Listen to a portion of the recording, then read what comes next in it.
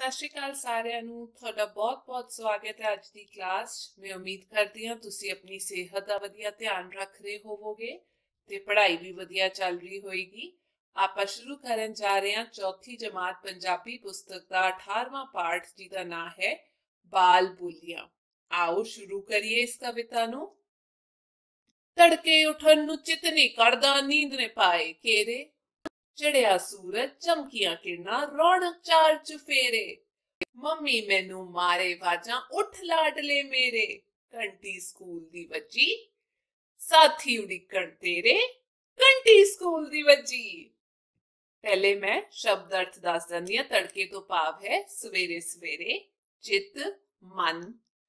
ਨੀਂਦ ਨੇ ਪਾਏ ਕੇਰੇ। ਨੀਂਦ ਨੇ ਜੋੜ ਪਾ ਲਿਆ। ਵਾਜਾਂ ਆਵਾਜ਼ਾਂ ਤੇ ਲਾਡਲੇ ਤੋਂ ਭਾਵ ਹੈ ਪਿਆਰੇ ਤੇ। ਇੱਥੇ ਬੱਚਾ ਦੱਸ ਰਿਹਾ ਹੈ ਵੀ ਤੜਕੇ ਉੱਠਣ ਨੂੰ ਦਿਲ ਨਹੀਂ ਕਰਦਾ।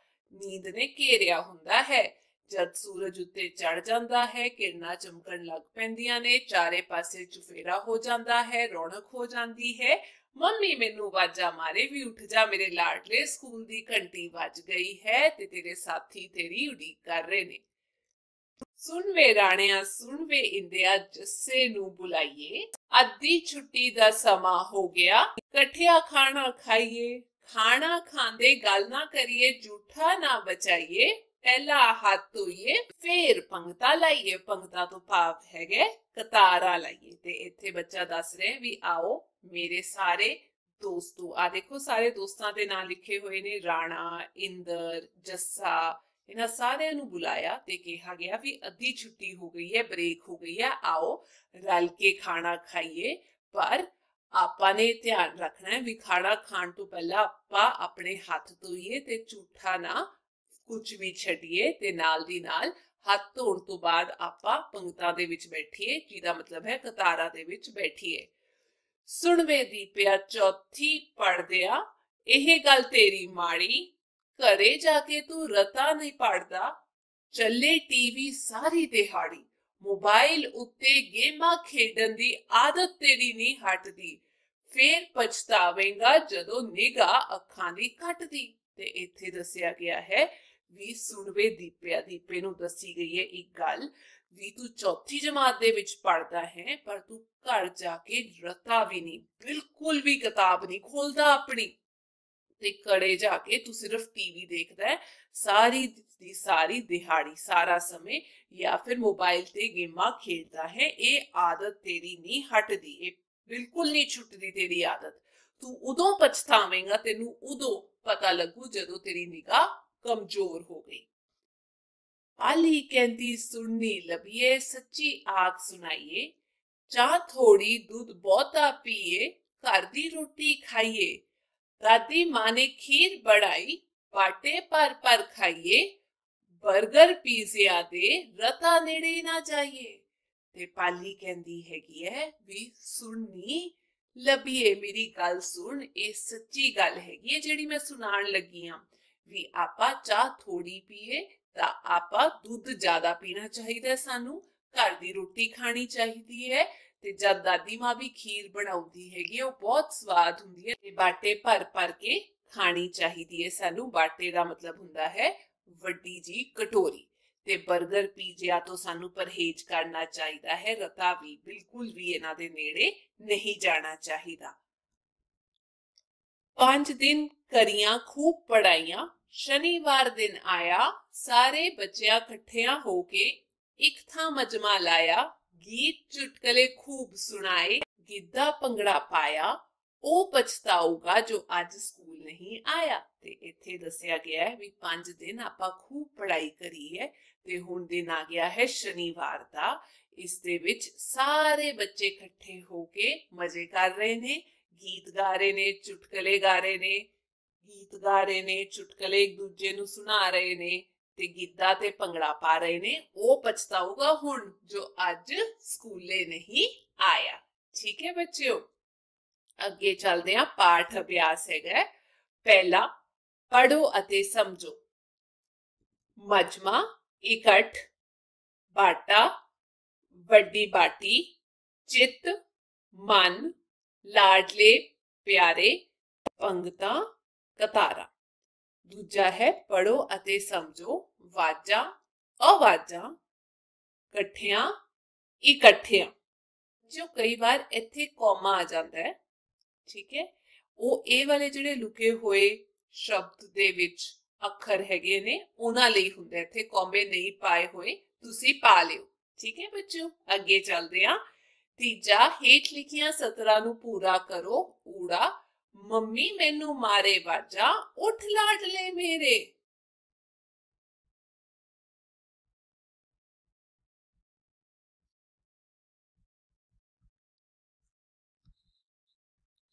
ਐੜਾ, ਪਹਿਲਾ ਹੱਥ ਧੋਈਏ, ਫੇਰ ਪੰਗਤਾ ਲਾਈਏ। ਕਤਾਰਾਂ।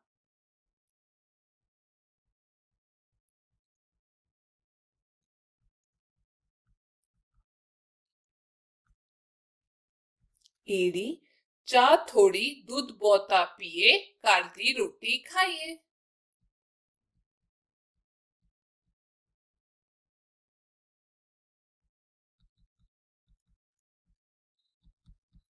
ਸੱਸਾ, ਗੀਤ ਚੁਟਕਲੇ ਖੂਬ ਸੁਣਾਏ, ਗਿੱਧਾ ਭੰਗੜਾ ਪਾਇਆ।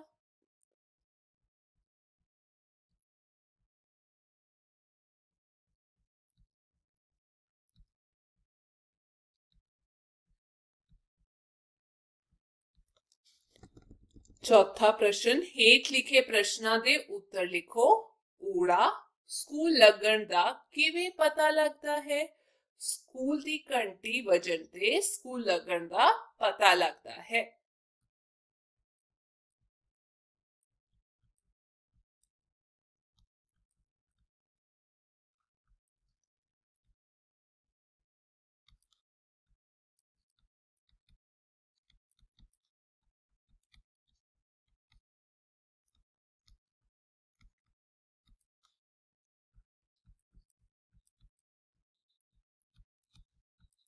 ਐੜਾ ਖਾਣਾ ਖਾਣ ਤੋਂ ਪਹਿਲਾਂ ਕੀ ਕਰਨਾ ਚਾਹੀਦਾ ਹੈ? ਖਾਣਾ ਖਾਣ ਤੋਂ ਪਹਿਲਾਂ ਹੱਥ ਧੋਣੇ ਚਾਹੀਦੇ ਹਨ।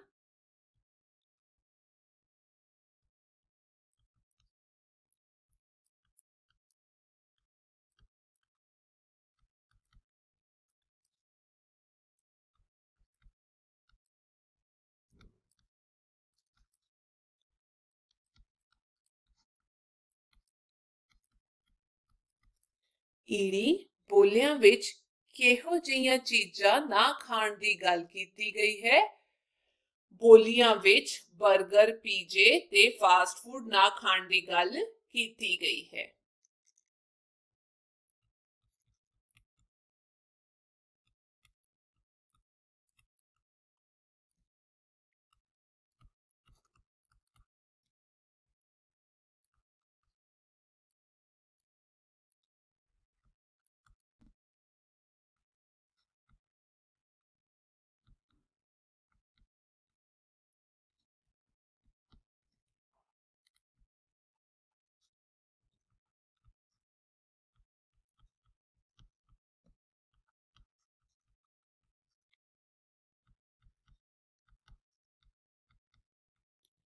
ਸੱਸਾ, ਬਾਲ ਸਭਾ ਵਿੱਚ ਬੱਚੇ ਕੀ ਕਰਦੇ ਹਨ? ਬਾਲ ਸਭਾ ਵਿੱਚ ਬੱਚੇ ਗੀਤ, ਚੁਟਕਲੇ ਸੁਣਾਉਂਦੇ ਹਨ ਅਤੇ ਗਿੱਧਾ ਤੇ ਭੰਗੜਾ ਪਾਉਂਦੇ ਹਨ।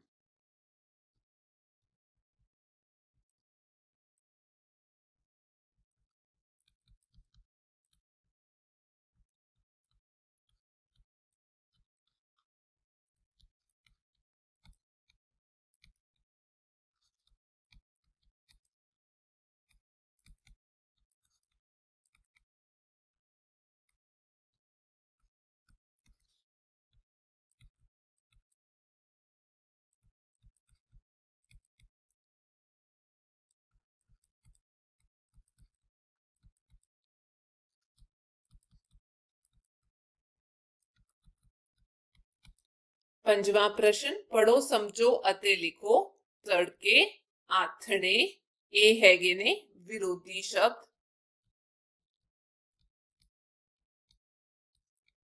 ਉੱਠਣ ਬੈਠਣ ਅੱਧੀ ਪੂਰੀ ਝੂਠਾ ਸੁੱਚਾ ਸੱਚੀ ਝੂਠੀ ਥੋੜੀ ਬਹੁਤੀ ਨੇੜੇ ਦੂਰ ਇਕੱਠਿਆਂ ਇਕੱਲਿਆਂ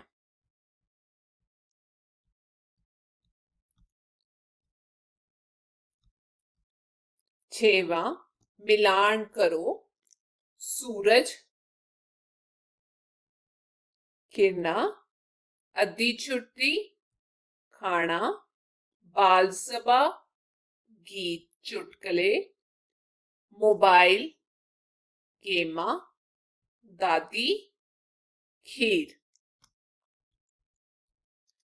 ਸਤਵਾਂ ਪ੍ਰਸ਼ਨ ਹੈ ਨਿਮਨ ਅਨੁਸਾਰ ਲਿਖੋ ਚੰਗੀਆਂ ਆਦਤਾਂ ਤੇ ਇੱਥੇ ਬੁਰੀਆਂ ਆਦਤਾਂ ਚੰਗੀਆਂ ਆਦਤਾਂ ਦੇ ਵਿੱਚ ਸਭ ਤੋਂ ਪਹਿਲੀ ਹੈ ਸਵੇਰੇ ਜਲਦੀ ਉੱਠਣਾ ਸਰੀਰ ਦੀ ਸਫ਼ਾਈ ਰੱਖਣਾ ਤੇ ਖਾਣਾ ਖਾਣ ਤੋਂ ਪਹਿਲਾਂ ਤੇ ਬਾਅਦ ਵਿੱਚ ਹੱਥ ਧੋਣੇ ਤੇ ਫਾਸਟ ਫੂਡ ਨਾ ਖਾਣਾ।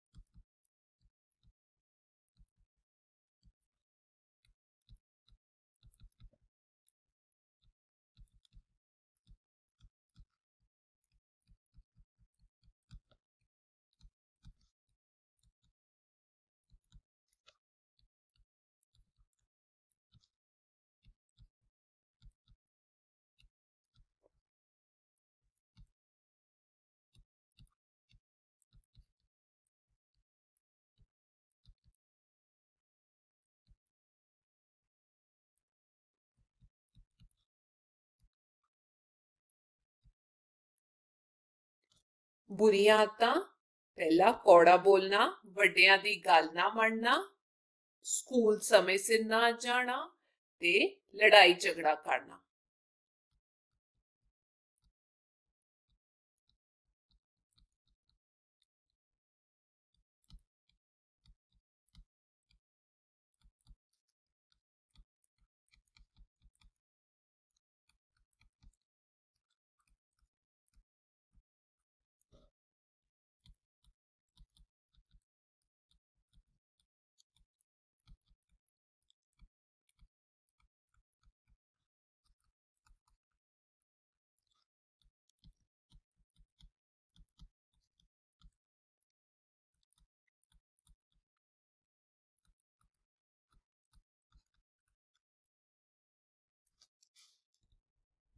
ਊੜਾ ਆਪਣੇ ਸਕੂਲ ਦੀ ਬਾਲ ਸਭਾ ਵਿੱਚ ਉਪਰੋਕਤ ਬੋਲੀਆਂ ਪਾਓ। ਐੜਾ ਅਧਿਆਪਕ ਮਲਵਈ ਕਿਤੇ ਦੇ ਰੂਪ ਵਿੱਚ ਇਹ ਪਾਠ ਪੜਾ ਸਕਦਾ ਹੈ। ਇਸ ਤਰ੍ਹਾਂ ਵਿਦਿਆਰਥੀ ਵਧੇਰੇ ਆਨੰਦ ਮਾਣਨਗੇ।